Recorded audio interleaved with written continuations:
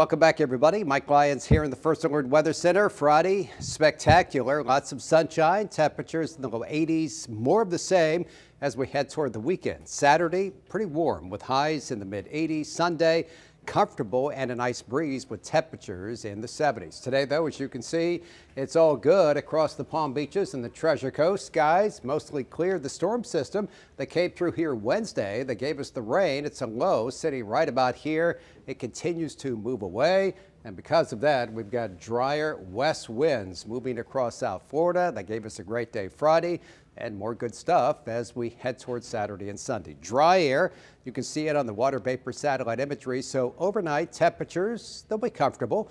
50s, 60s, a little bit above the average, low of 60 degrees and highs tomorrow.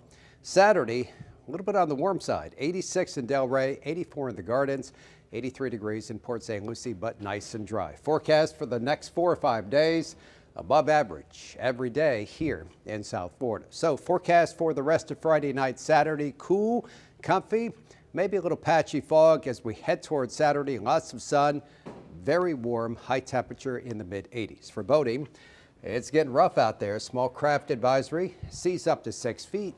And your first alert, seven day forecast, South Florida's most accurate all the way through the weekend. Looking good. Chance of rain maybe next week.